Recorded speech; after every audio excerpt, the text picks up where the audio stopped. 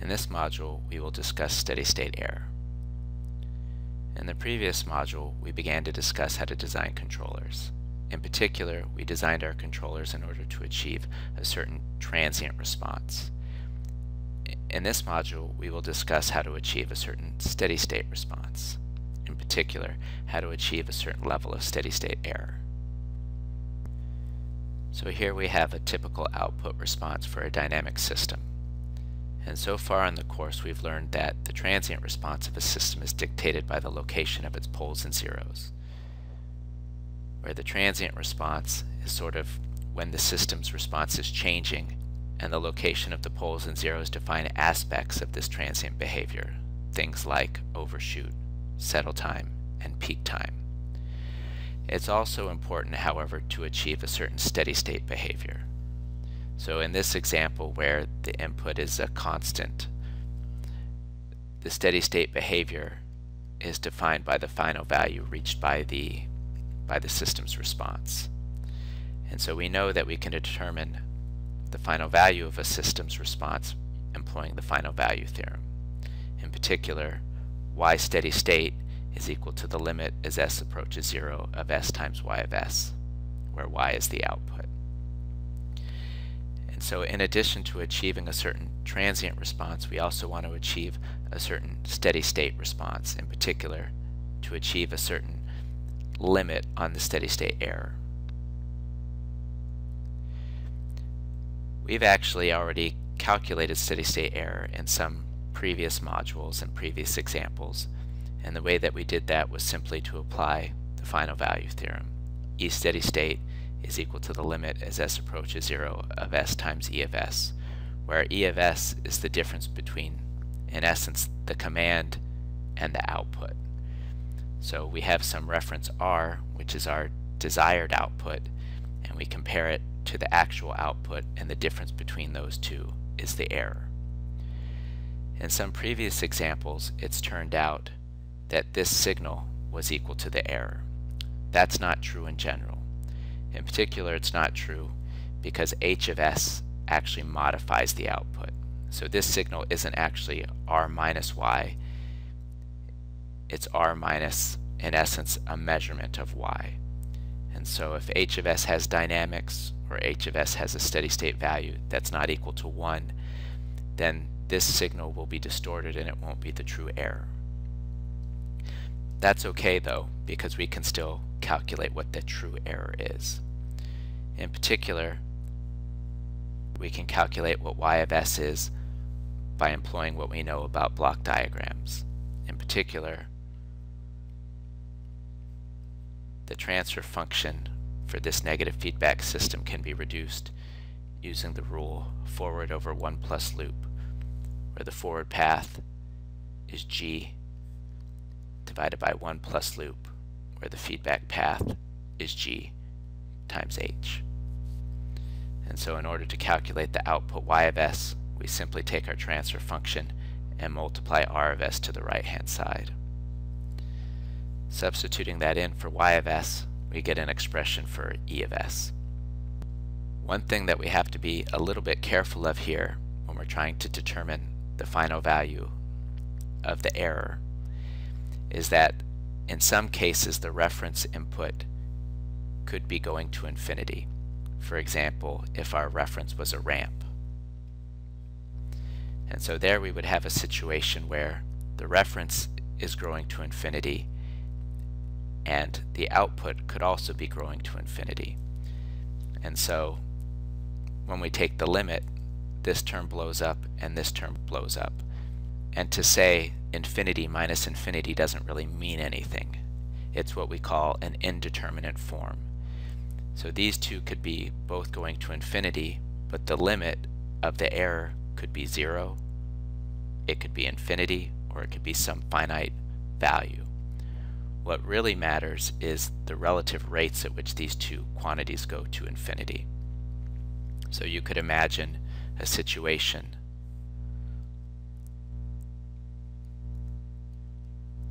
where you know r is a ramp and maybe y is growing to infinity but it's growing to infinity at a different rate and so the difference between the two the error is getting larger and larger and larger. But you could have a different situation where they grow at the same rate or where they even approach one another. So in order to be able to take this limit, keeping in mind this indeterminate form, in essence we need to get a common denominator between these two. And so the denominator of this term is 1 over g times h. And so if we imagine that there's a constant 1 multiplying this r,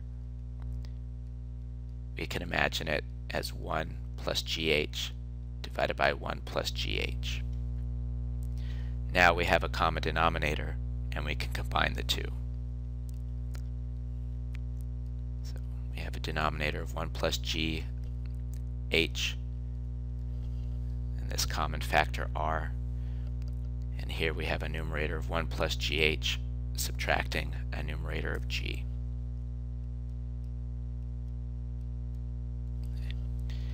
And so if we rearrange e of s into this form, we can take the limit as s goes to 0, and we can get a conclusive understanding of the steady state error. At this point, we'll now go ahead and find the steady state error for this simple example where we're using a P controller.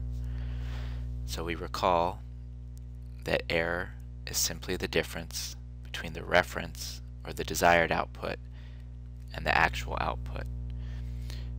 R of S we know because it's given to be a unit step, and Y of S we can find an expression for by recognizing this as a negative feedback structure. Specifically, we can find the closed loop transfer function g of s, where y of s is the output and r of s is the input. And since this is a negative feedback system, we can use the rule forward divided by 1 plus loop. In this case, the forward path is kp times the plant 2 divided by the quantity s plus 1. So that becomes our numerator. And then our denominator is 1 plus loop, where the loop includes the controller kp, the plant, and this element in the feedback path. And so the product of those three, where 2 times 5 is 10, gives us 10 times kp divided by the quantity s plus 1 times the quantity s plus 5.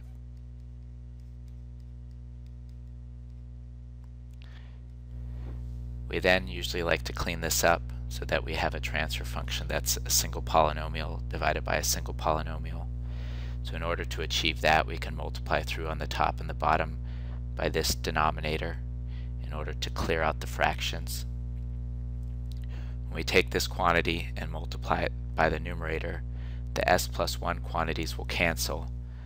We'll be left with 2 times kp times the quantity s plus 5. When we multiply this quantity through the denominator, we distribute it to the 1.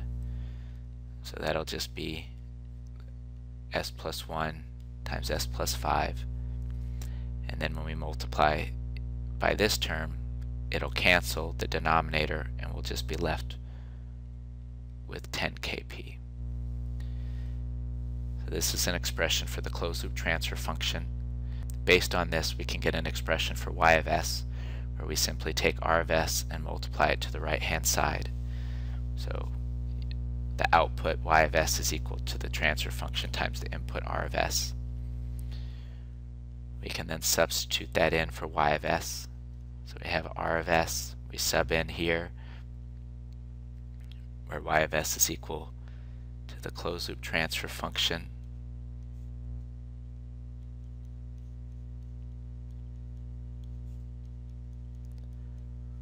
multiplied by r of s.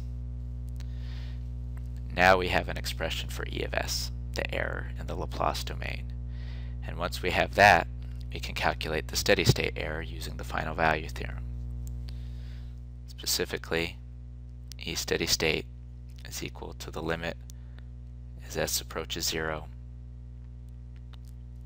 of s times E of s. Substituting in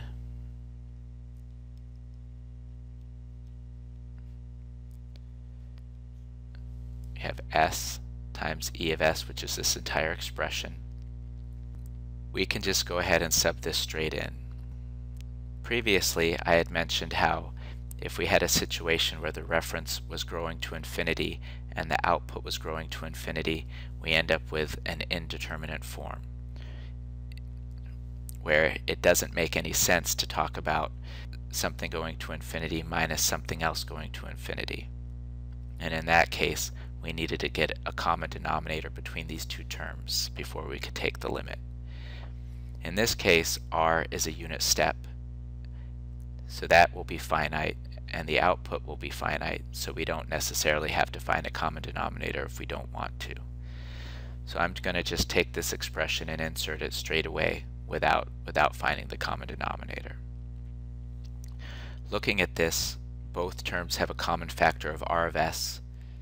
So I'm going to factor out that r of s, where r of s is equal to 1 over s, because it's a unit step. When I factor away the r of s from this term, I'm left with a 1.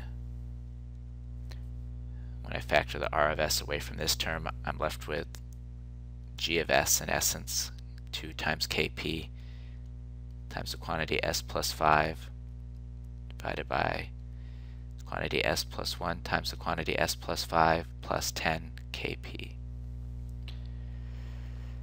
If I want to evaluate this integral, that s will cancel from the with the s from the reference and this remaining function is defined at s equals 0 so I can simply sub in for s equals 0. In particular this first term is just a constant, so it remains. In the numerator, as I take s to 0, I'm just left with 5. 2 kp times 5 is 10 In the denominator, I'll have 0 plus 1 times 0 plus 5. That's 5 plus 10 kp. So this gives us an expression for the steady state error. And if we choose a value for our proportional gain Kp, we can just substitute it in to calculate the exact steady state error. To get a better sense of how the steady state error is affected by Kp, I'm going to go ahead and rearrange this by getting a common denominator. In particular, I want a denominator of 5 plus 10 times Kp so 1 I can think of as simply 5 plus 10 kp divided by 5 plus 10 kp. Since these two terms have the same common denominator, I can combine them. So on the one side I'll have 5 plus 10 kp. On the other side I'll have minus 10 kp. That 10 kp cancels that 10 kp I'm left with 5 divided by 5 plus 10 kp.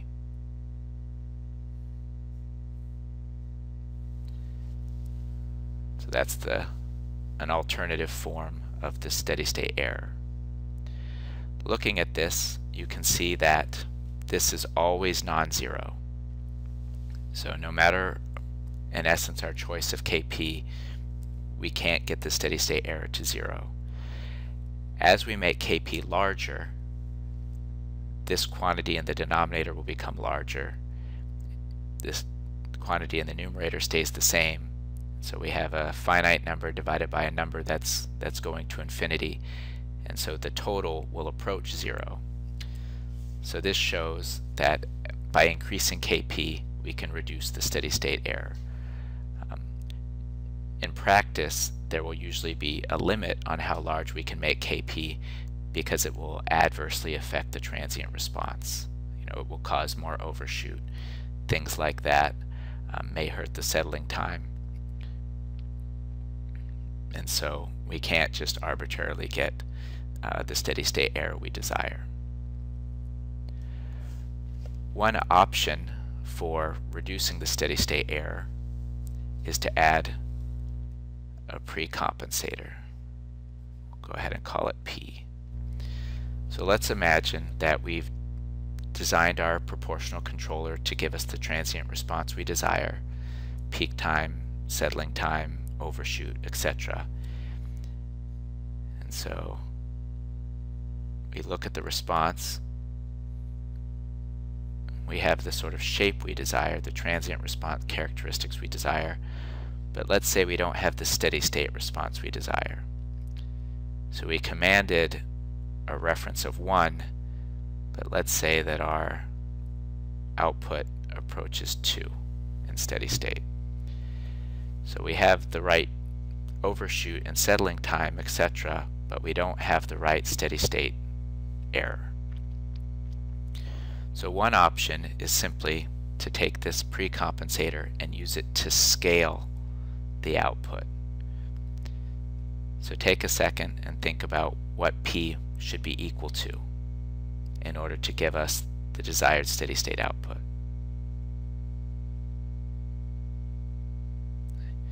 So simply you can see if we chose P to equal 0.5 then we would have the exact same shape of our output but everything would just be half as large. So it would be the same shape but it would be scaled down. And this way we would have the same settling time, we would have the same peak time, we'd have the same overshoot when considered as a percentage, and we would have the output that we desire, the steady state output that we desire. Can you think of any limitations of this approach? It seems almost too good to be true. We can design KP to give us the transient response we desire, and then we can simply add this precompensator to give us the steady state error we desire. So take a second and think about what might be a drawback of this approach.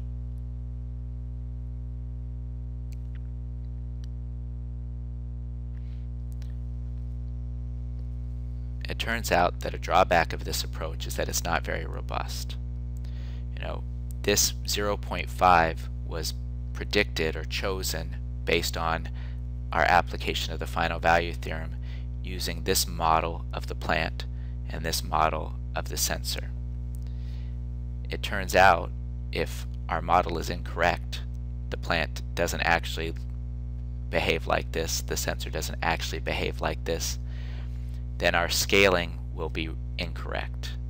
You know, if these if our model is wrong such that our output isn't actually 2, let's say it was 1.5, then when we apply our scaling, it will actually shift, or it could shift the final value away from what's desired.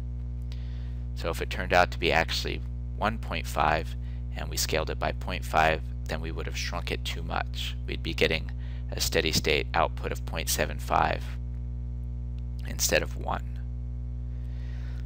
Similarly, if we have a situation where we have some unknown disturbance entering our system, this precompensator also doesn't account for that. So even if we have perfect knowledge of our model, this disturbance will cause us to shift away from the desired steady state value. An alternative to the precompensator as a means for reducing the steady state error is to use a PI controller. So here we have the exact same system from before, except now with a PI controller. So we'll go ahead and follow the exact same process and find the steady state error of the system in this situation. So again, we define error as the difference between the reference, i.e. the commanded output, and the actual output. R of S in this case is simply 1 over S because we have a unit step input y of s we can get an expression for from the closed loop transfer function which we will call g of s which has an output of y of s and an input of r of s. It's a negative feedback structure so we can use our rule forward over 1 plus loop. Before we do that however I want to go ahead and rewrite this so that it has a common denominator of s this term has a denominator of s. In order to get this term to have a denominator of s, we multiply and divide by s. Now we can combine them, where the numerator of the first term is s times kp, and the numerator of the second term is simply ki. So once we've done that, we can see that our forward path includes the PI controller and the plant.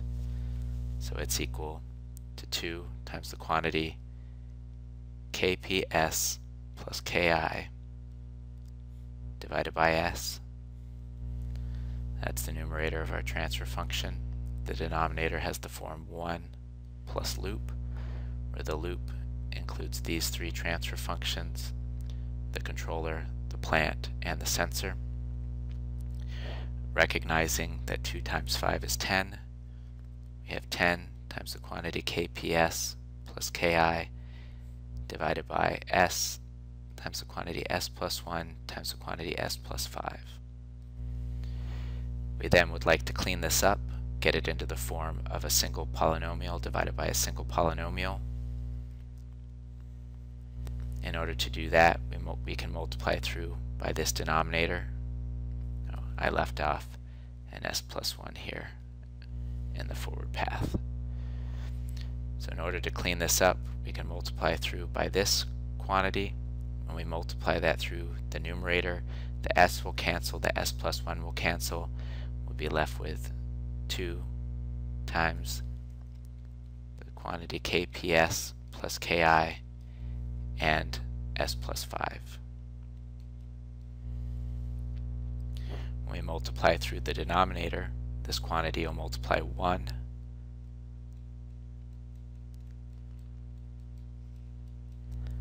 then when we multiply this term, the quantity will cancel that denominator and we'll just be left with 10 times kps plus ki.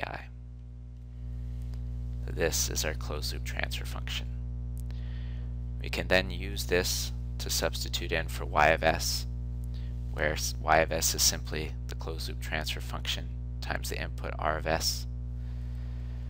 So substituting in, we have r of s minus y of s, where y of s again is equal to that whole big transfer function up there.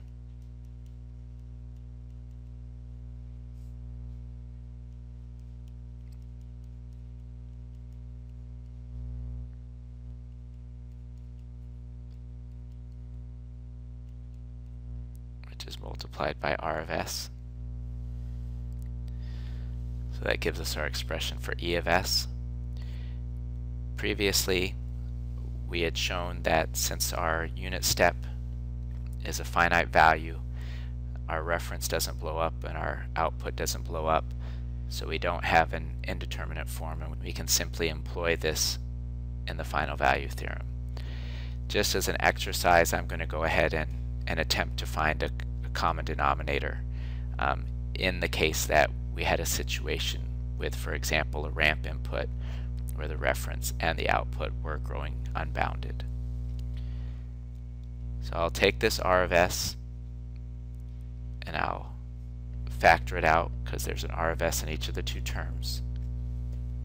And then I want to combine the two terms so that they have this common denominator, s times the quantity s plus 1 times the quantity s plus 5 plus 10 times the quantity kps plus ki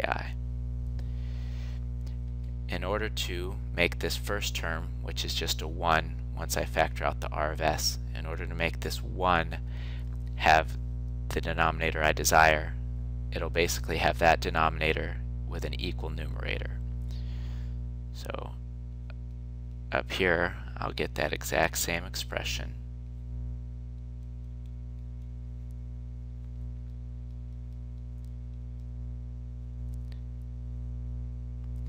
and then I will subtract the numerator of this other term which is already there. When I do that, I'm going to go ahead and distribute these terms across the s plus 5. So I'll end up with a first term that's 2 times kps plus ki times s. And then when I do that for the second term, I'll have 2 times 5.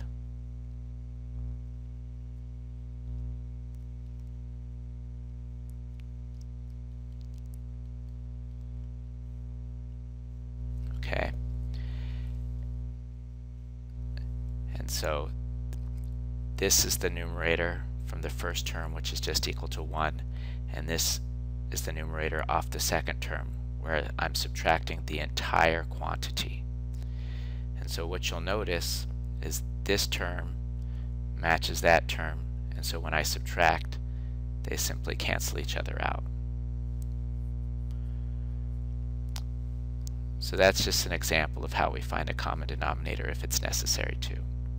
Once we have that, we can then go ahead and apply the final value theorem.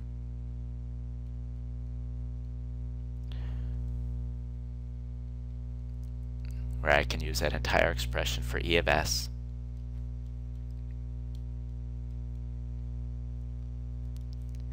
And so E of S is equal to R of S in this case where R of S is simply a unit step 1 over S. In the numerator I have this quantity S times the quantity S plus 1 times the quantity S plus 5 and then it subtracts this other quantity 2 times kps plus ki. And then the denominator is the same as it was.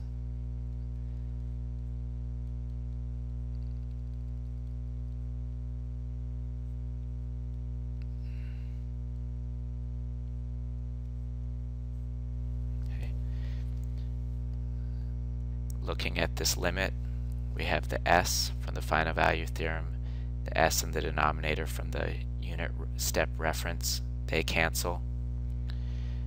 If I go further, I left off this s, so I'll include that. If we look at that, this function is defined at s equals 0, so we can simply sub in. This term has a 0 multiplying this whole thing, so that will be 0 this term has a 0 multiplying the whole thing. So the whole numerator is 0. And the denominator, this term will go to 0 because we have an s multiplying. This term will go to 0 and we'll be left with 10 times ki in the denominator. So 0 is equal to 10 times ki, which is equal to 0. And so what we've shown is by adding the integral action to our controller, we've been able to make the steady state error go to zero. And interestingly enough, the steady state error goes to zero no matter what the value of ki. Even for a small value of ki, the steady state error would go to zero.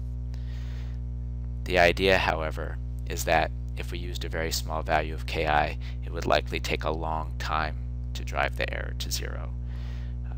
So the ki doesn't affect the final value, but it does affect the rate at which we get there.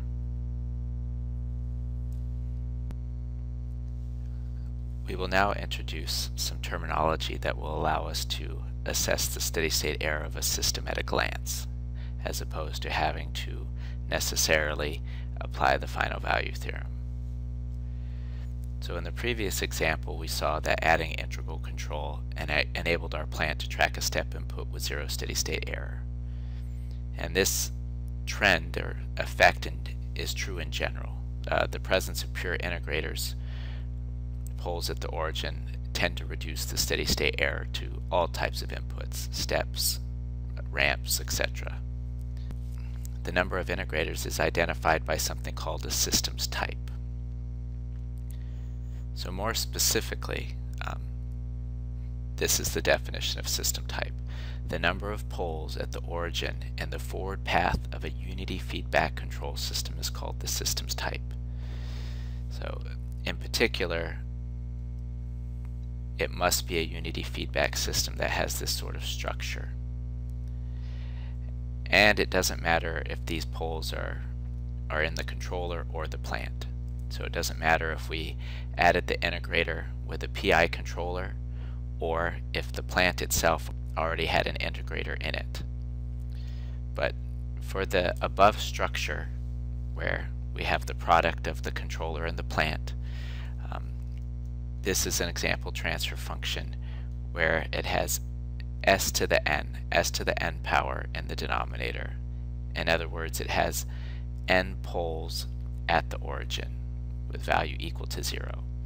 So we define this to be a type n system. Let's look at a few examples. So let's say we have a transfer function of that form. So looking at this, it has a pole at minus 4, but it has no poles at the origin. It has no poles s equal to 0. It has no integrators. So we define this to be type a type 0 system.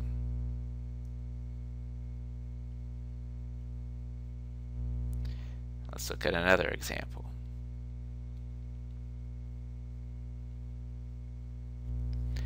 So in this case, we have a single pole at the origin or a single integrator. You know, it has this form where n is 1. So it has s to the 1 power. So we define this to be a type 1 system. And if we go one step further, here we have two poles at the origin. Here n is equal to 2 and so this is called a type 2 system under the conditions that it's in a unity feedback structure such as this. So in the first example we did in this in this module, we didn't strictly speaking have a unity feedback system because we had some dynamics in the feedback path, but it ended up that this term didn't affect the final value because it had a, a DC gain equal to 1 so let's hypothetically say we had this the same system but with a 1 replacing it. That system is a type 0 system because it didn't have any integrators in the controller or the plant. And we saw that when we solved for the steady state error that it was non-zero. It was some uh, non-zero value. We then added an integrator to the controller in the second part of the example such that the system became a type 1 system. Again, if we had a 1 in the unity feedback path. And we saw that it was able to track a step with zero steady state error. It turns out it would not be able to track a ramp with, with zero steady state error, however. But if we added a second integrator, so it said it was a type 2 system, then it would be able to track a ramp. So this can track a step zero steady state error. And this can track a ramp with zero steady state error. One way to try and remember this is um, is the fact that this, what, what we're observing here is a special case of something called the internal model principle. What the internal model principle in essence says is if we have a unity feedback system like this where the forward path includes a copy of the reference then the system can track that reference with zero steady state error. So in this case a type 1 system in essence has a copy of a step in it. And a type 2 system, in essence, has a copy of a ramp in it. So since a type 1 system includes a copy of a step, it can track a step with zero steady state error. And since a type 2 system has a copy of a ramp in it, it can track a ramp with zero steady state error. On the next slide we have a, a table summarizing some of these facts.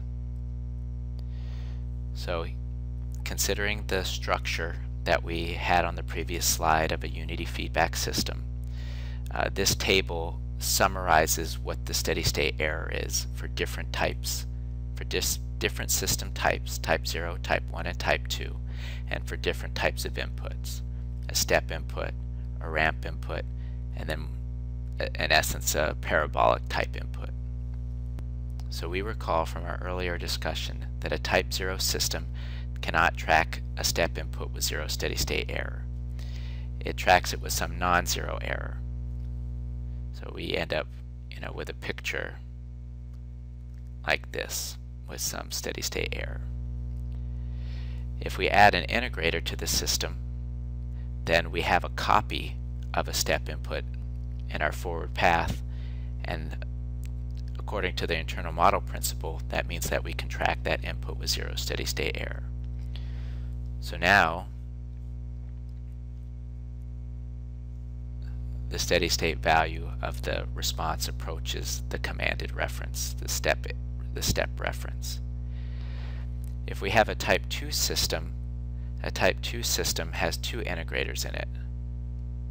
So in essence, it also has a copy of a step input. It has, in fact, two copies of, a of the step. So it too can track a step input with zero steady state error. If we go to a faster changing input, like a ramp, then a type 0 system can't track a ramp input at all. So if we have a ramp reference, the type 0 system will also grow to infinity, but it'll grow to infinity at a different rate. And so as time goes on, the error, the difference between the commanded reference and the actual output will grow and grow and grow. A type 1 system doesn't have an exact copy of the ramp, so it too cannot track the ramp perfectly, but, but it at least has a finite error. So in this case, if the reference is a ramp, the type 1 system won't exactly equal the reference, but it'll grow at the same rate eventually, such that the error reaches some finite non-zero value. A type 2 system, however, does have a copy of a ramp built into it. If you recall, a ramp, the Laplace transform of a ramp is 1 over s squared. And so it will be able to track, track a ramp with zero steady state error. An acceleration input, its Laplace transform, continues this trend it's 1 over s cubed. And so the type 0 system, the error will go to infinity. A type 1 system, the error will go to infinity.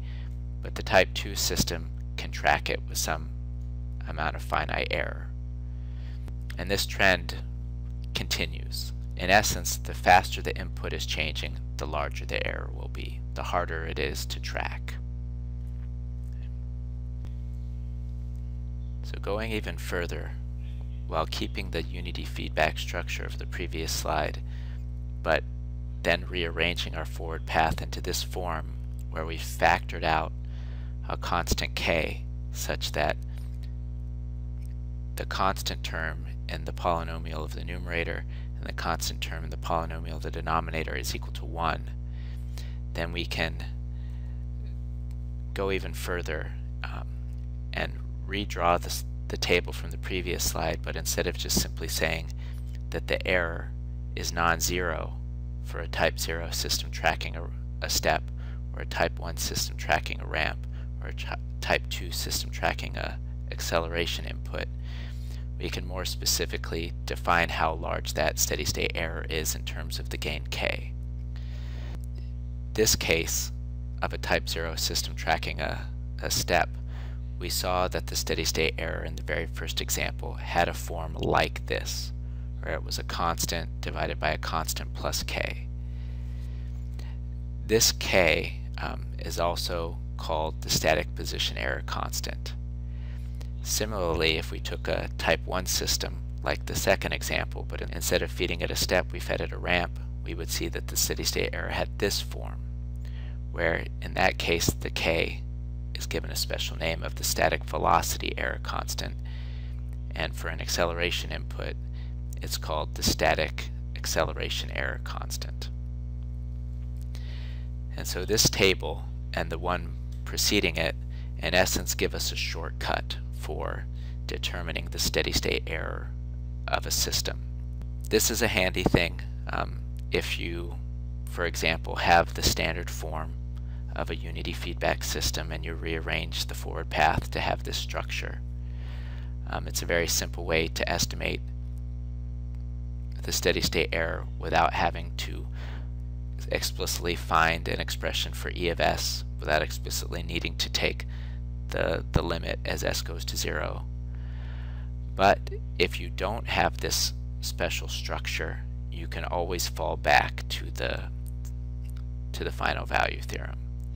If you have something in the feedback path, if you're trying to determine the steady state error in response to an input that enters in a different location than the reference, for example, if you're trying to find the steady state error due to a disturbance or due to noise, then you can't necessarily use this table, um, but you can still employ the final value theorem.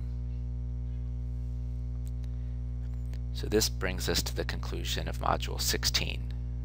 In this module, we demonstrated how steady-state error can be calculated employing the final value theorem. We also demonstrated how adding integrators to either the controller or the plant tends to help reduce steady-state error. And finally, we introduced a definition, the definition of system type, which can be used as a shortcut for determining steady-state error, but can only be used if the system has the specific structure defined. That is, if it's a unity feedback system.